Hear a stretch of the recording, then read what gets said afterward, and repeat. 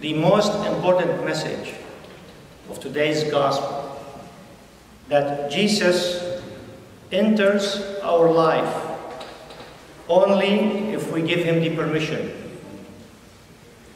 If we don't give Jesus the permission to come into our life, he is very gentle. He does not come in.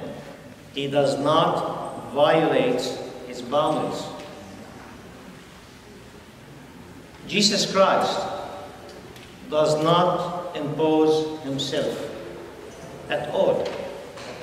He only responds to our invitation.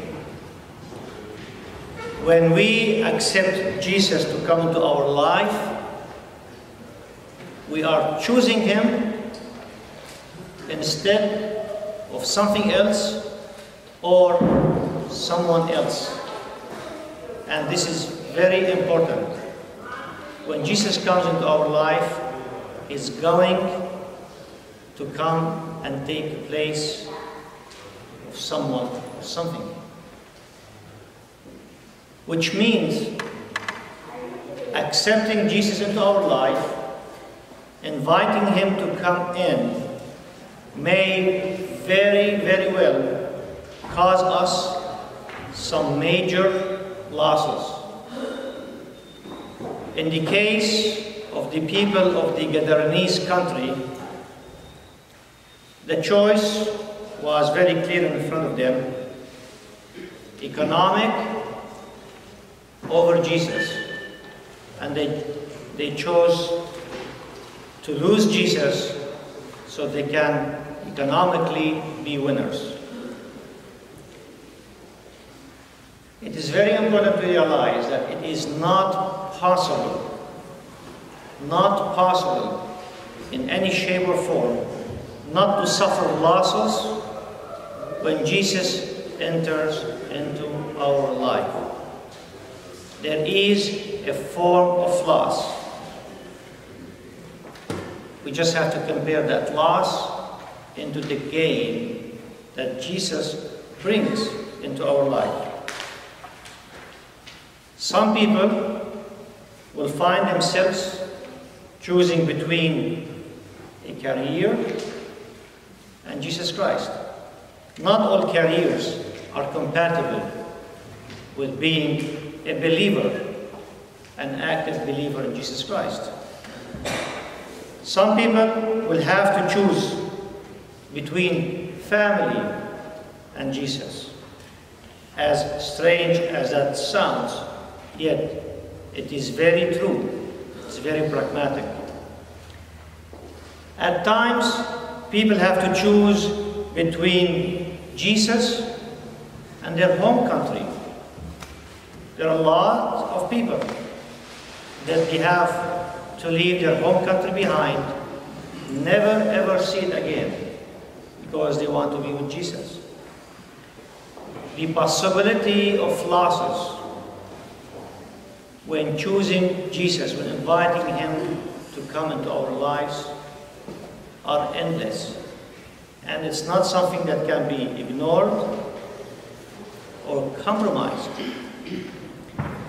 The number of the saints and the choices they made to win Jesus is beyond number.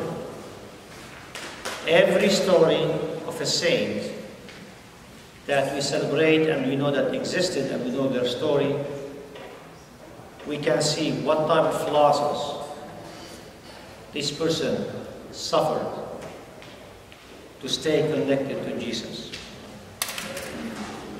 So, if we are not ready to suffer losses for the sake of Jesus Christ, then we are not ready to gain Jesus Christ. It's a simple fact, indisputable. People every day, in every walk of life, suffer all kind of losses in order to gain a career, wealth, family, children, and even things of less values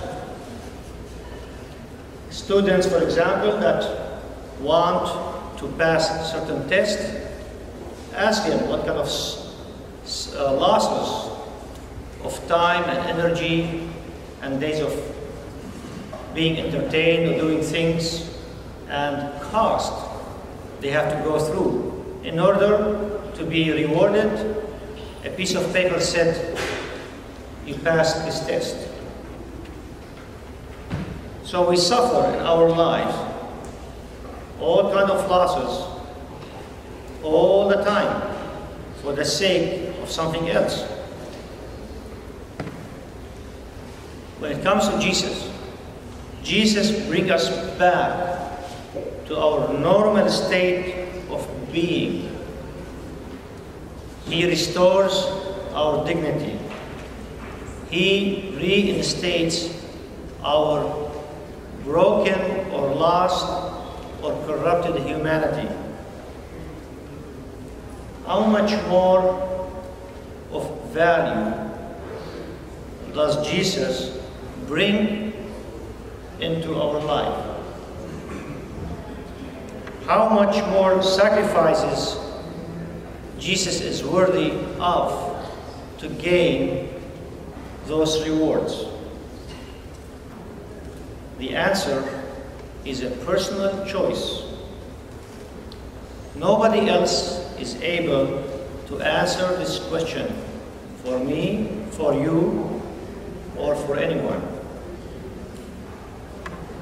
Because whoever answers this question is the one that is going to fit the bill.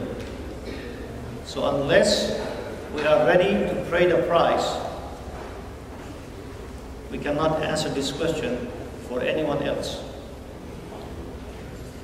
Today's message from the Holy Gospel very clearly states that we are choosers. God has created us to be choosers. And we choose every day. And we choose multiple times many choices during the day and during our lives. And when it comes to Jesus, do we choose Him or, do we choose something else over Him? That is the question.